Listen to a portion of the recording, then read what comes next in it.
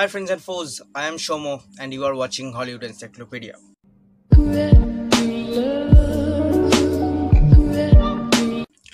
Fantasy.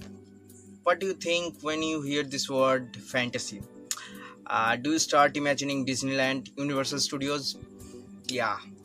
And when you hear this word fantasy movies, what do you imagine?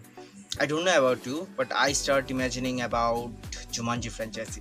Yes, today I'm going to talk about this movie Jumanji. Jumanji 1995. The first movie of this franchise was Jumanji. It was released in 1995 and got 7 rating on IMDb, which is highest by any movies in this franchise. The main thing about this kind of fantasy movies, you can't relate it to the reality, and you have to sit back on sofa and grab a popcorn and coke and enjoy this as this movie is a bit old so it had the gross income of 262.8 million us dollar worldwide uh, which is low though it was very high as compared to other movies in that time. This movie starring robin williams and bonnie hunt as the lead role along with kirsten dunst and bradley pierce. I can't give review on this one because it's a masterpiece itself.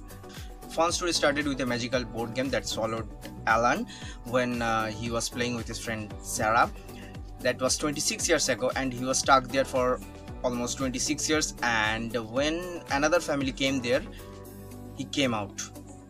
Two kids found this game and they will start playing, uh, and then the adventurous things will start. Like uh, home will become jungle, road will become river, and monkeys will ride car, and etc.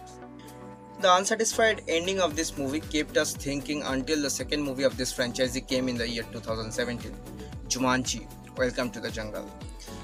But this movie is magnificent in one word and will show you the use of graphics in that old time, also plus Robin Williams. It's like double bonanza. I know most of you guys have watched this movie, but if you didn't, please go watch this movie and wherever you are, please leave your work and go watch this hope all of you guys are doing very well. I am shomo please do like share and subscribe to my channel and don't forget to press the bell icon because you will be notified. And whatever you do please don't stop watching this